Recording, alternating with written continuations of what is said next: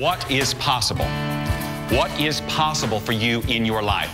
Today is the day that you're going to admit out loud what you really want and what is possible for you. It's theorized that the brain is 88% subconscious mind and 12% conscious mind.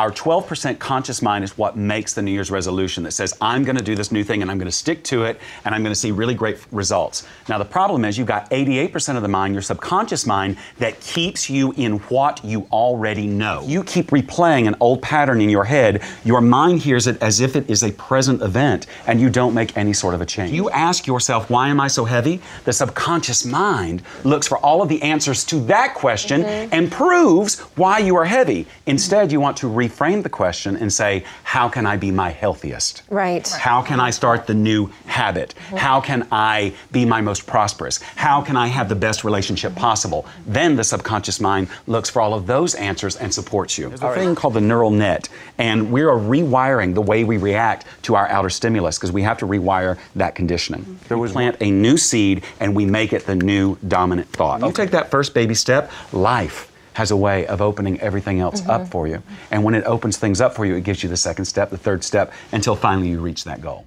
That anybody's looking for is confidence, okay? Because confidence, more than looks, will attract someone to you. Let's say you're at a social event, a gathering, a party, a bar. So you want to know is there a connection with this person or am I making it all up in my head? The very first thing you're looking for is eye contact. It also means that you're in rapport with that person. Right. You're in sync with them. You're oh. paying attention to them okay. on a level that is not necessarily conscious, it's on the subconscious John level. Ratzenberger and I were talking earlier, and he said he, one of the things he used to do is he'd walk into the room and he'd yawn.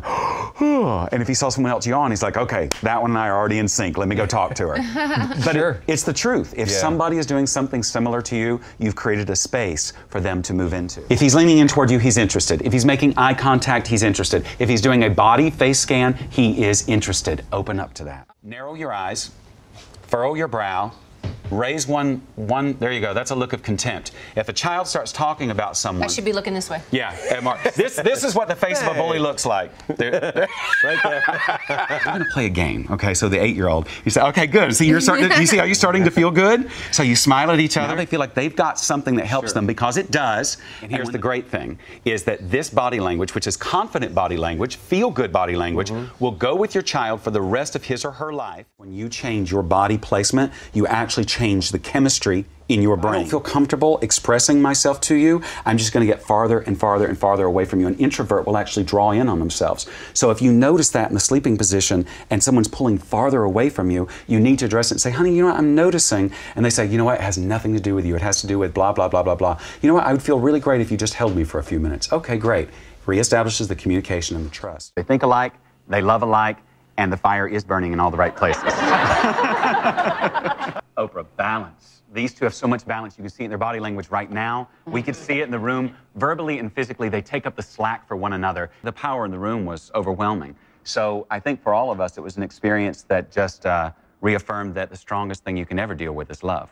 I felt the love of everybody in that room. message of love. It, it came with a message of love. I had to establish a baseline, so I went back and I looked at five or six different interviews. A whole array of emotions must be going on here with her. We're looking for micro expressions because he's showing very little, which shows one of seven human emotions. We see a micro expression of happiness come up. He reaches for his ring finger. That's our commitment finger. You see him leaning in toward her. You see his arm behind her. He's more physically comfortable with Paula than with anybody else. He plants with his eyes. He keeps focused in one direction and he stops all of that movement. He's not avoiding anything. When we have good self esteem, like all of you do. what does that mean? What does that mean? Do you Small see a bladder. toilet? Okay. Thank you.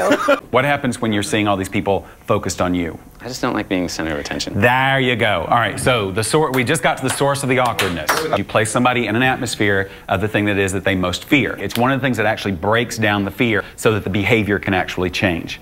Okay, all right, so we got a deal then.